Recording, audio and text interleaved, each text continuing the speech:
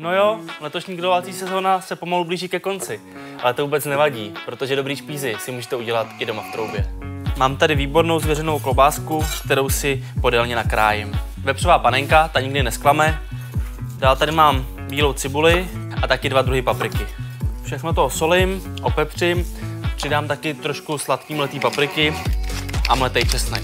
Promíchat a můžeme začít dělat špízy. Dvě špejle, na začátek kousek klobásky pak už to střídejte, jak chcete. Maso potřu z obou stran olejem a pruce zatáhnu na pánvi. Tohle není nutnost, ale maso klidně můžete oflambovat trochu rumu nebo brandy. Maso je zatažený, ale teďka ho dám ještě na 10 minut při 200 stupních do trouby, aby se dodělalo. Ke šplízům ještě umíchám jednoduchý dip. Zakysaná smetana, brusinky a čerstvě nastrohaný křen. Sůl, pepř, zamíchat. Ale jo, to by šlo.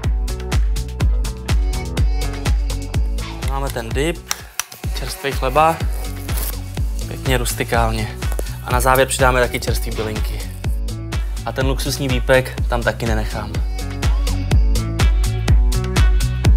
Pořádná hora masa pro vaši domácí pohodu.